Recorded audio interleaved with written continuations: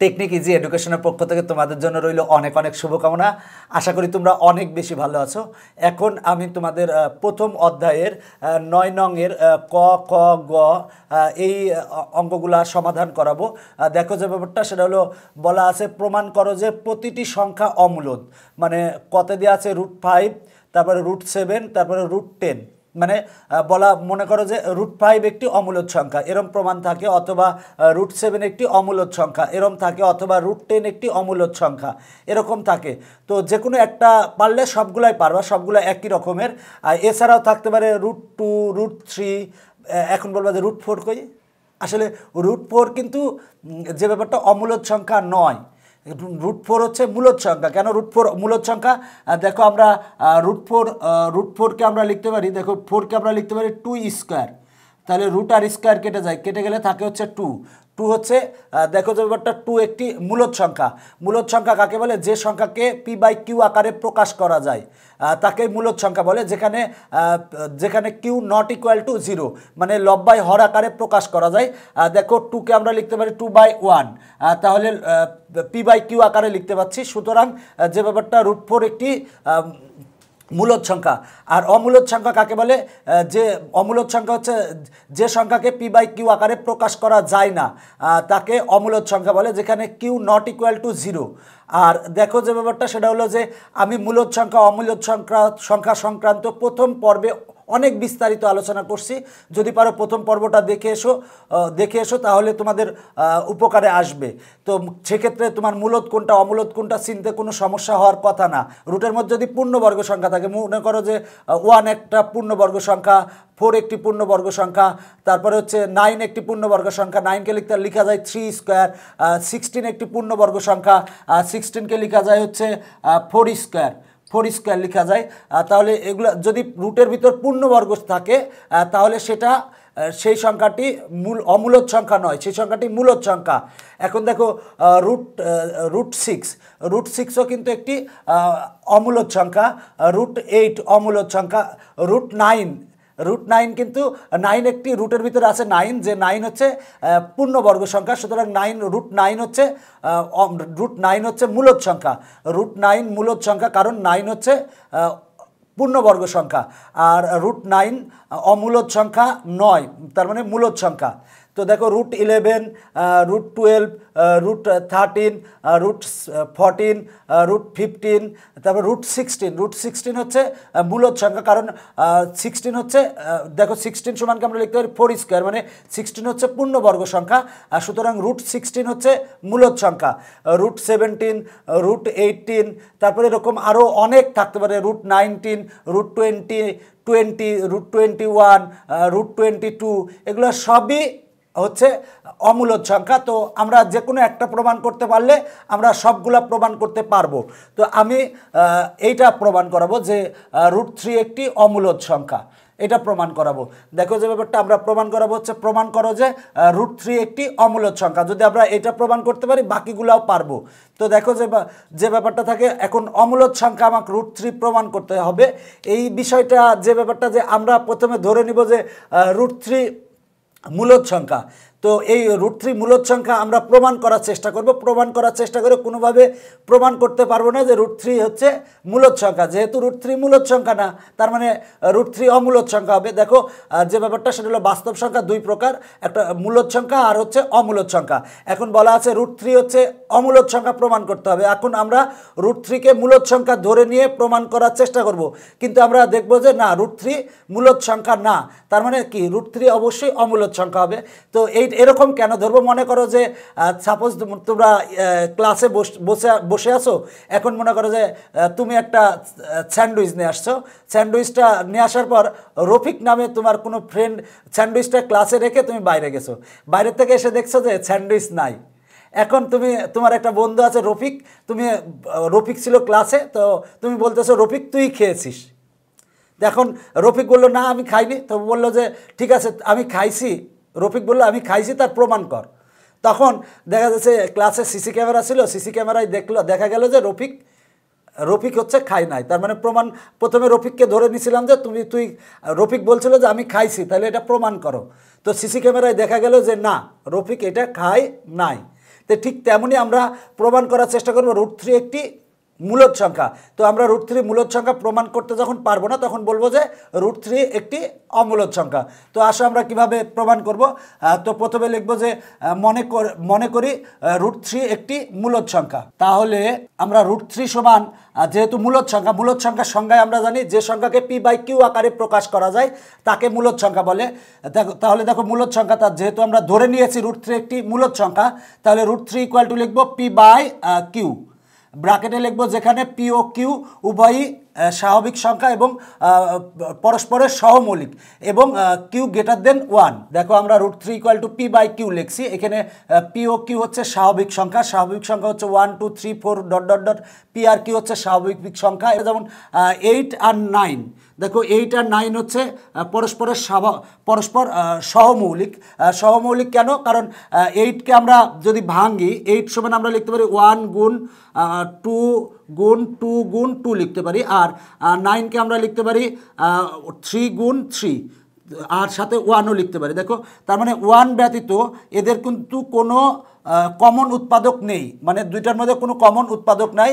সুতরাং এইট এবং এইট এবং নাইন হচ্ছে পরস্পরের সহমৌলিক। আবার যদি বলো যে মনে করো যে থ্রি আর নাইন থ্রি আর নাইন কিন্তু পরস্পরের সহমৌলিক নয়। কেন পরস্পরের সহমৌলিক নয়? থ্রি সমান লিখতে পারি ওয়ান গুণ থ্রি। আর নাইন সমান আমরা লিখতে পারি ওয়ান গুণ থ্রি গুণ থ্রি। দেখো, ওয়ান হচ্ছে এদের মধ্যে কমন আছে, কিন্তু থ্রিও কমন আছে উৎপাদক। সুতরাং থ্রি এবং নাইন পরস্পরের সহমৌলিক নয়।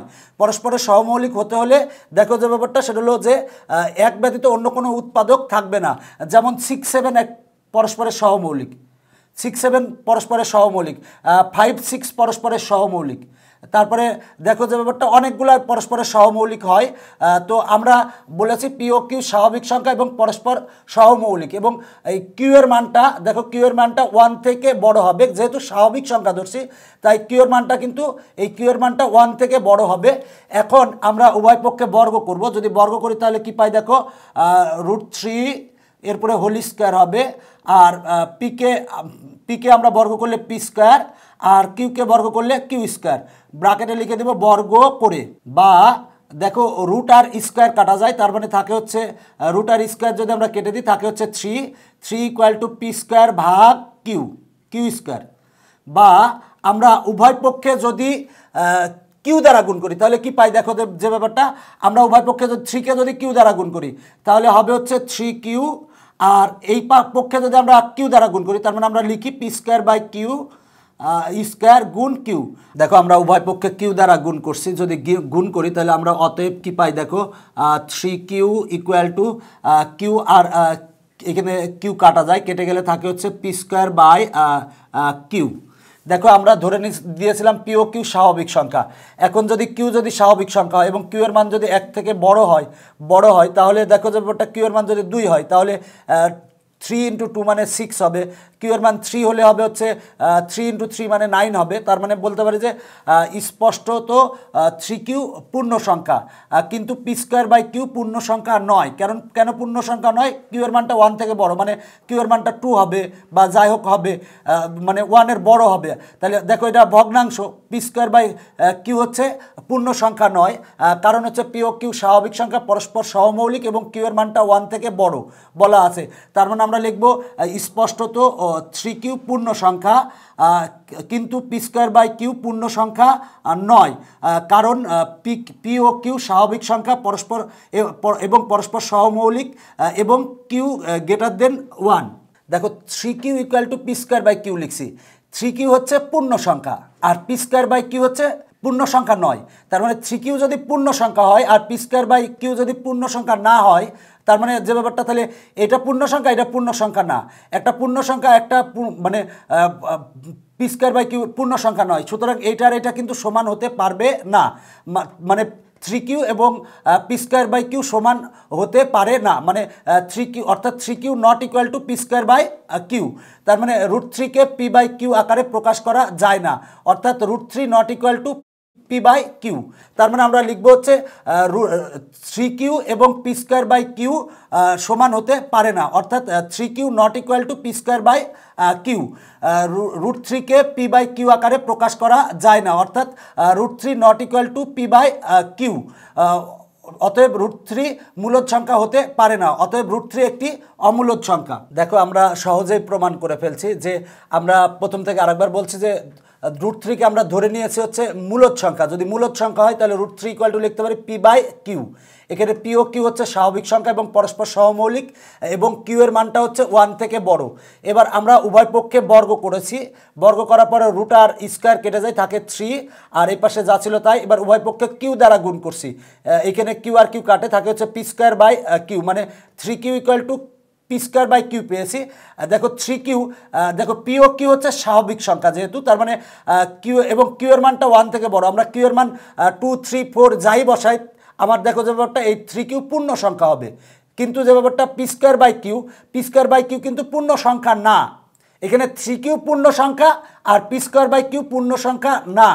কারণ হচ্ছে যে ব্যাপারটা পিও কিউ স্বাভাবিক সংখ্যা এবং পরস্পরের সহমৌলিক এবং কিউর মানটা ওয়ান থেকে বড়। এরপর দেখো তার মানে থ্রি কিউ এবং পি স্কোয়ার বাই কিউ সমান হতে পারে না। যেহেতু এটা পূর্ণ সংখ্যা, আর এটা পূর্ণ সংখ্যা না, তাহলে এটা সমান এটা আমরা লিখতে পারব না। তার মানে লিখব থ্রি কিউ এবং পি স্কোয়ার বাই কিউ সমান হতে পারে না। অর্থাৎ three q not equal to p square by q তার মানে যেহেতু এটা নট ইকুয়াল টু এইটা, তার মানে রুট থ্রি রুট থ্রিকে পি বাই কিউ আকারে প্রকাশ করা যাবে না। তার মানে এইটা নট ইকুয়াল টু এইটা, তার মানে এইটাও নট ইকুয়াল টু এইটা। মানে root three equal to root three not equal to p by q মানে রুট থ্রিকে পি বাই কিউ আকারে প্রকাশ করা যাবে না। অর্থাৎ root three not equal to p by q মানে root three p by q এর সমান হবে না। তার মানে রুট থ্রি মূলত সংখ্যা হতে পারে না। তার মানে আমরা প্রমাণ করলাম যে রুট থ্রি মূলত সংখ্যা হতে পারে না। তার মানে রুট থ্রি কী সংখ্যা? অতএব রুট থ্রি একটি অমূলদ সংখ্যা।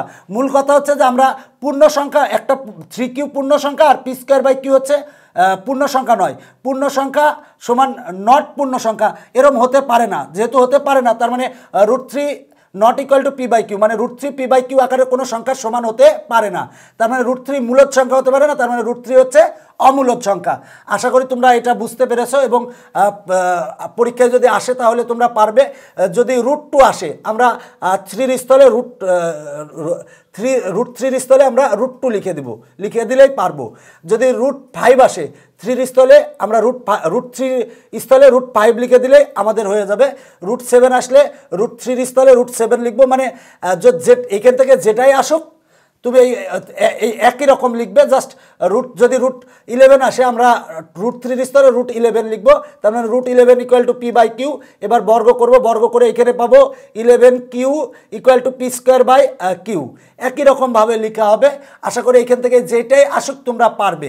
আর দেখো যে ব্যাপারটা, সেটা হলো যে আমি বিস্তারিত মূলদ এবং অমূলদ সম্পর্কে প্রথম পর্বে বিস্তারিত আলোচনা করেছি, পর্বটা দেখে এসো, তোমাদের জন্য উপকারে আসবে। তো এখনকার পর্ব এখানে শেষ করছি। পরবর্তী পর্ব দেখার আমন্ত্রণ রইল। Bye bye.